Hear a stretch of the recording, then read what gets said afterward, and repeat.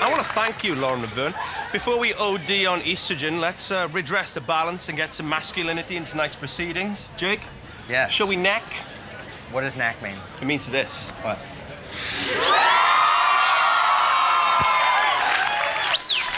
Nine out of ten. Nine out of ten. Our next band described touring as being like prison on one hand and in a monastery on the other. If you could live in a monastery or prison, which would you choose?